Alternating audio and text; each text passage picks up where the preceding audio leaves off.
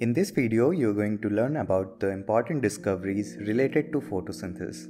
The first discovery related to photosynthesis happened a long time ago in the year 1774. Joseph Priestley, through his bell jar experiment, demonstrated that when a burning candle and a live mice was placed inside a closed chamber made up of glass, the candle extinguished and the mice died after some time. But when he placed a potted mint plant in the same setup along with the mice and burning candle, he noticed that the candle kept burning and the mice didn't die. From this set of experiment, he was able to conclude that the burning candle, which is showing combustion, and the mice, which is performing respiration, release bad air in the closed chamber, due to which the mice died and the candle extinguished. But when a plant was placed in the same setup, it consumed the foul air and converted it into good air. Due to his work, Priestley is credited with the discovery of oxygen. In the year 1779, Jan Ingenhousz was able to demonstrate that plants can release the good air or oxygen only in presence of light. He used an aquatic plant, Hydrilla, for this experiment and observed the formation of bubbles of oxygen during daytime. But during nighttime, no such bubbles were produced. This experiment made it clear that sunlight is essential for photosynthesis.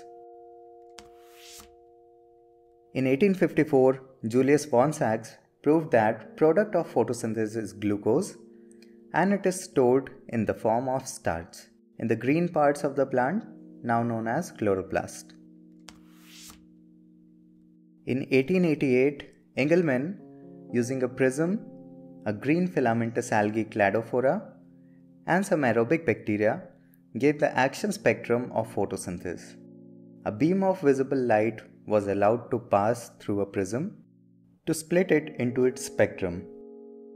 When this visible spectrum was allowed to fall on the filamentous algae cladophora, he observed that aerobic bacteria moved towards the cladophora by showing aerotactic movement. But accumulation of these bacteria occurred only in the regions of red and blue wavelength, and thus he concluded that photosynthesis occurs mainly in the red and blue wavelength of the visible spectrum. In 1905, Blackman concluded that photosynthesis is not a single step reaction but can be divided into two phases one is called photochemical reaction or the light reaction and the other is dark reaction. Both the reaction occurs during the daytime but the light reaction is directly dependent on light while the dark reactions indirectly dependent on light. The site of light reaction is the grana and the stroma lamellae of chloroplast but the dark reaction occurs in the stroma of the chloroplast. The product of light reactions are ATP, NADPH and molecular oxygen, and these products are used in the dark reaction to synthesize glucose. In 1920, Otto Warburg performed the intermittent light experiment on chlorella. He observed when chlorella is provided with continuous light, the amount of carbon dioxide reduced is less as compared to when the same algae is provided intermittent light, that is, alternate light and dark periods. This resulted in more yield in the latter case. He proposed two explanations for the improvement in yield of the intermittent light. Either the reduction of CO2 continues in the dark or it proceeds twice as fast during the brief light flash as during the same length of time in continuous light. In 1932, Emerson and Arnold proved the existence of two distinct photochemical processes in the light reaction of photosynthesis.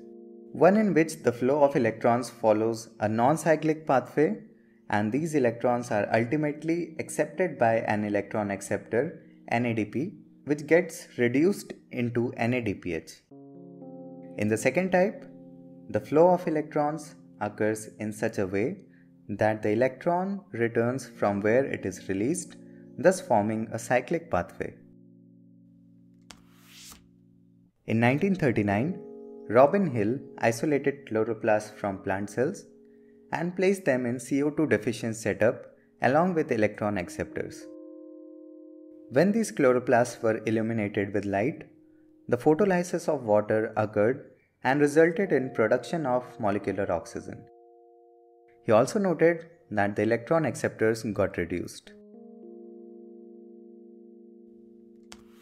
In the year 1941, two scientists, Ruben and Kamen, gave the experimental proof that oxygen released during photosynthesis comes from photolysis of water and not from carbon dioxide. They used heavy isotope of oxygen, O18, to trace the products. When CO2 containing heavy isotope of oxygen was used, along with water having normal isotope of oxygen, it was observed that heavy isotope was present in glucose and water, but not in the oxygen gas released.